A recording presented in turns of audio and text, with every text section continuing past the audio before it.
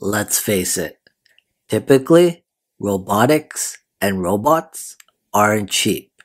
In terms of the initial cost, maintenance, and the need for extra components, robots need to be programmed with artificial intelligence and programmed to do the task. So if this is true, then how do we get to the year 2077? Fast forwarding the speech about the future of civilization with fully autonomous flying cars and an eVTOL Airbus station and Hyperloop bullet trains in every district connecting us to any district across the world, but rather focusing on our fully autonomous robotic companions that will walk among us in 2077. I was reading a comment someone wrote on one of my videos the other day, and this person wrote, Robots are the future, with or without us, which is true to any physical, material piece of technology, but not putting the notion out there that robots will replace our human species, but in a sense that typically a human being lives to about 100 years old while fully autonomous robots can live forever. And so if humans truly only live once, a cheap humanoid female robot companion technically doesn't exist. Rewinding and highlighting the word cheap, cheap humanoid female robot companions do not exist. Or else, how do you put a price on an everlasting companionship? $30, $100, $700, $80,000? Priceless. Brain time. Congratulations. You made it this far in the video. What would you do if I told you you could have 25 years of good luck? And all you'd have to do is like this video and also subscribe if you haven't already. Well, what are you waiting for? Smash that like button and you'll get 25 years of good luck. And now, back to the video.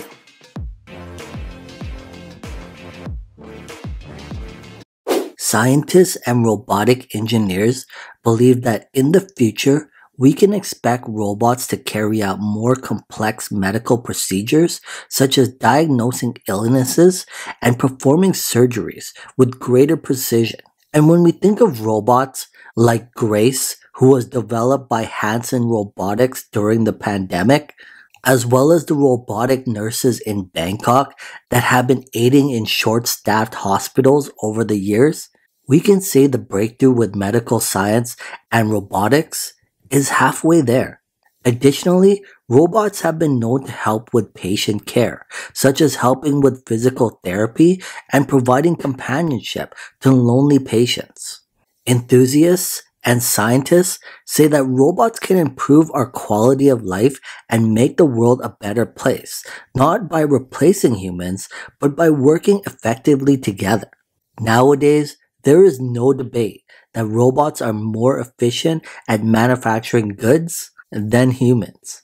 A few weeks ago, I made a video talking about the price and what future AI in robotics would cost. A quick Google shopping search will bring up a variety of different humanoid robots that you can purchase for as low as 30 US dollars. But then, probably not the humanoid robot that you envision. Because when we think about humanoid robots, we think of human like robots with giant boobs and artificial intelligence and the perfect bodies. At least that's what I envision but maybe I've been watching too many YouTube videos. A quick Google search, a thousand dollars, and a credit card, and you can get a love doll sent to your house in a matter of days. See what I did there? Not use the S word, but rather called them love dolls? Trying to keep the video clean. But that's really all it is. Because for less than a thousand dollars, Sure, you could find yourself a lifelike blow up doll that feels truly realistic, but it's going to be missing the AI and the brain.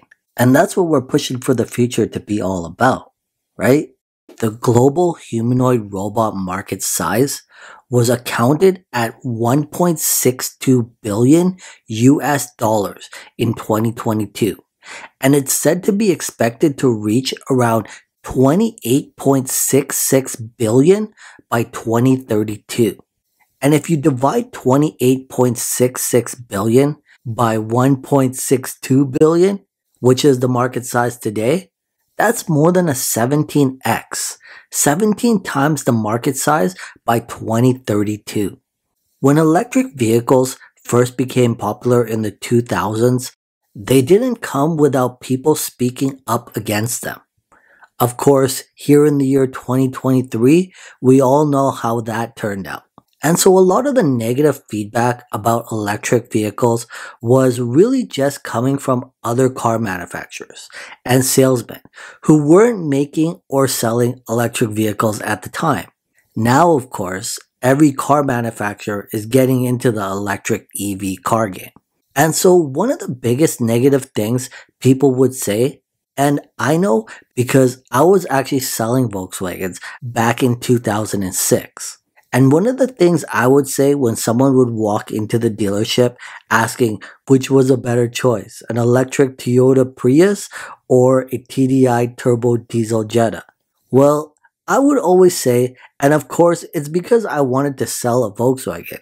But so I would say, if you're thinking about the future and the environment, what do you think is going to happen to all the batteries in these electric cars in 30 to 40 years when they're all just sitting in a junkyard somewhere? And today, this is still very much and more so now an issue many car manufacturers deal with as they find more ways to reuse and recycle EV batteries. Okay, so what does this have to do with robots? Well, we're going to get to that because Although these issues are very real, the fact is the electric EV car battery problem is still a better direction for the future by lowering global carbon emissions from gasoline powered vehicles. So if the same were said about humanoid robots, female robots, well, the answer would be simple. These robots last forever and could easily be reused and recycled. So really, it isn't even a topic. But moreover, and a humanoid robot shouldn't be questioned. It's proven that robots improve our quality of life. And following the pandemic, I don't think anyone can question whether or not the entire world could use some improved quality of life. In addition to assisting people with disabilities, modern technologies, including robots and AI, contribute to the development of digital health, all while, of course, contributing to society. Robots save workers from performing dangerous tasks and so much more. In fact, the only real threat humanoid robots or artificial intelligent female love dolls pose would probably be towards women.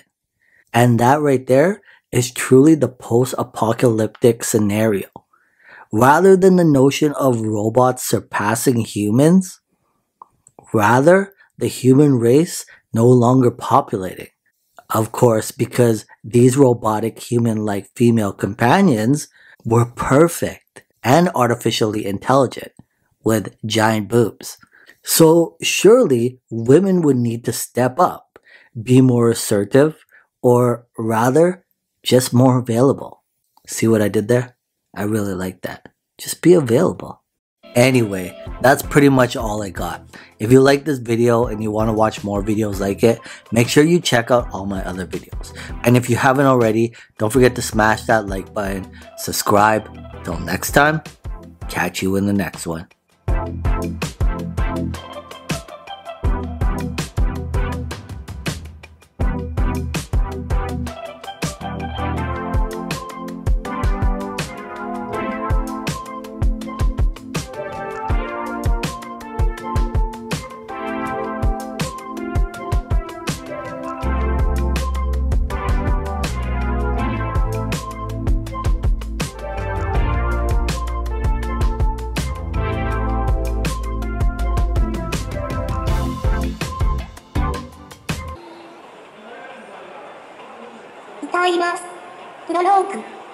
ください。立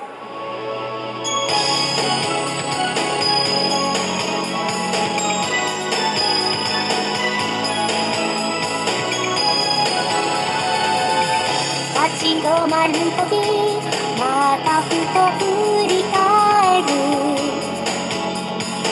今の切ない姿探しているの間違いなく二人 季節を抜いてたそれぞれが夢見てた想いも一緒に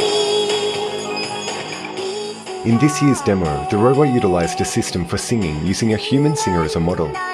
This enables it to sing with a more natural voice and expression.